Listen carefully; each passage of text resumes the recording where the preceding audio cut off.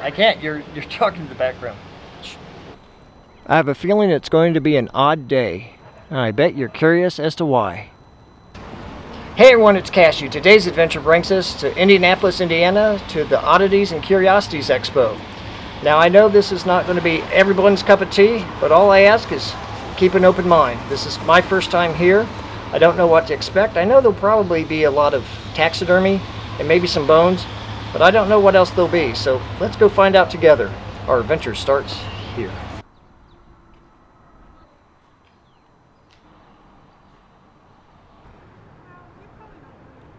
And on my way to the expo, I saw this cool Art Deco building. I also found this statue of Garfield. And where there's Garfield, Odie is not far behind. Finally, let's go inside. Informative and amusing.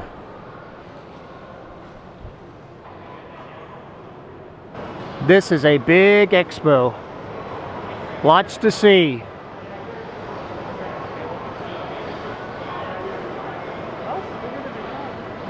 The first booth I saw was one that sells bones and taxidermy.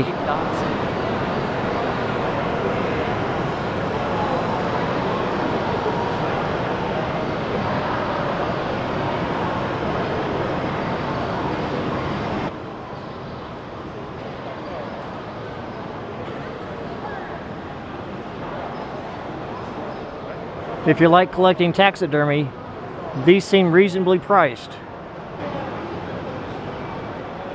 I like this place. They have a lot of whimsy in their artwork.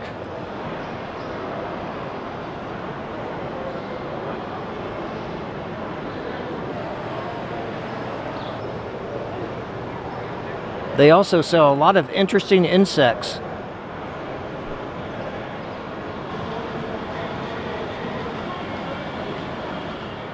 And here are a couple of Atlas beetles having tea. I don't think my neighbors would appreciate it if I put this sign in the front of my house. They have this prosthetic for sale if you want to get a leg up on your competition. This shop is called Scavenged Parts, and let me show you some of the things they sell. They sell cute little kitties, vintage artwork, and assorted curiosities.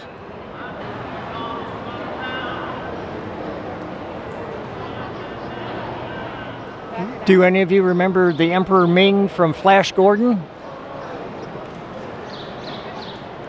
This shop is called Painted Lady Trashins. And wait till you see what I found. These are from an old carnival game from the 1930s. That doesn't tell me anything. I had a Charlie McCarthy dummy when I was a kid. And he was creepy then, too. This is the charnel shop, Nature's Oddities. And this is some of what he sells.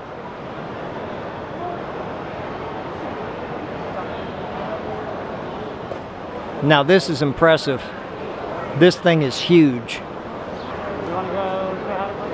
This shop is called Bones by Design. And a couple of things caught my eye. These are foxtails, and the reason they caught my eye is because I see a lot of people at Renaissance festivals wearing these. I might have to buy a few of these.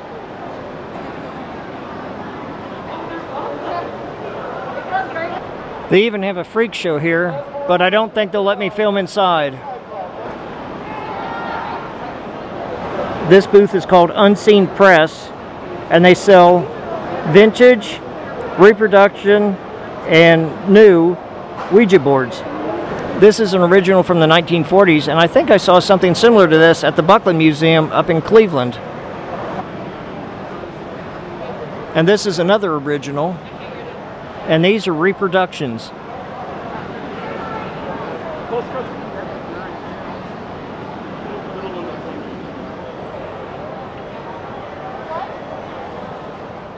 I really enjoyed this booth. They sell something really unique.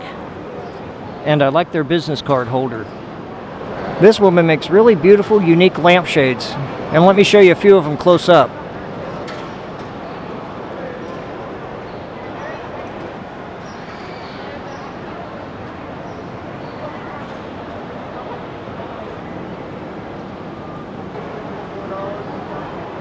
This booth is really unique too. This guy does all of his original artwork on stickers and embroidery patches.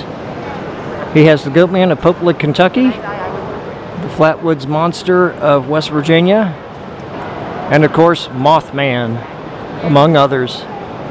And no monster collection would be complete without Bigfoot and Yeti. This is a very unique shop. They sell live animals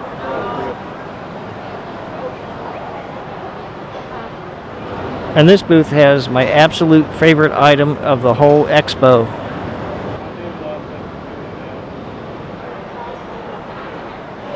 Now this is a really nice booth. This has curiosities rather than oddities. You're not going to find two-headed calves or skeletons in here, but rather artwork from Asia.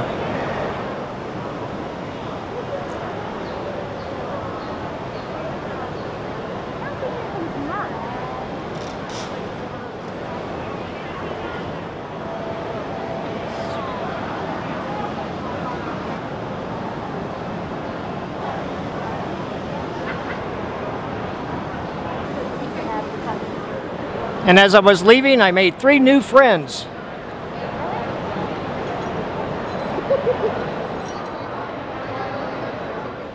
Well, that was pretty wild, and as expected, they had taxidermy and bones galore. But they also had some really cool items, very unique items. Uh, the lampshade booth was really cool. I like the cryptozoology uh, stickers and patches. That was a lot of fun, and I want to thank all the vendors for allowing me to film their booths. That was really cool of you. I appreciate it. And even the people who were here at the expo, the visitors, they were all really cool as well. So it's definitely worth checking out. And I'm glad I came. And if you have one come to your town, check them out. And if you like this video, give it a thumbs up. Be sure to like, subscribe, and ring the notification bell. And until next time, everyone, this is Cashew signing off. What if I just come home with a snake?